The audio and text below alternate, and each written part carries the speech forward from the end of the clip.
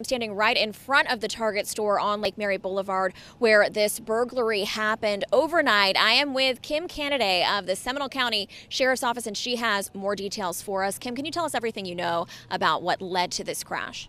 Absolutely. We were notified by Target about uh, 223 this morning that they were experiencing an in progress burglary. They were able to tell us that two vehicles were involved, a maroon and a black, and about six individuals entered the store through a broken glass door.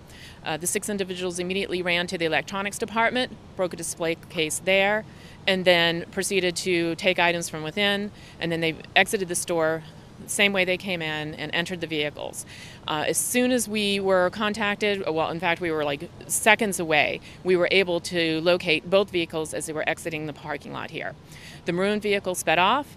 The black vehicle, um, we attempted a traffic stop on it. It did not stop and continued to flee.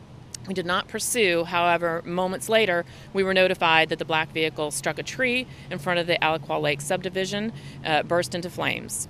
The deputy was able to get there very quickly and was able to remove a passenger from the vehicle who had significant uh, injuries. He was transported to a local hospital.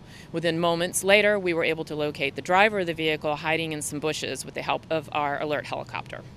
What's the status of the four suspects that are believed to have gotten away in the maroon vehicle? Yeah, the four in the maroon vehicle are still outstanding, so we're hoping to gather some more information about who they are and see if we can track them down. And what do you know about these suspects? Were you able to get any surveillance video footage from the Target store? Target has been very helpful. So, it, because of their video, we were able to connect these incidents together. We were able to identify the individuals in the car based upon the description we were able to get from the Target people and their clothing. All right, an ongoing investigation here at Target and also the crash investigation still goes on in front of the Alaqua Lake subdivision. We will update you as soon as we get more information. Live in Lake Mary, Alex Villarreal, WESH 2 News. All right.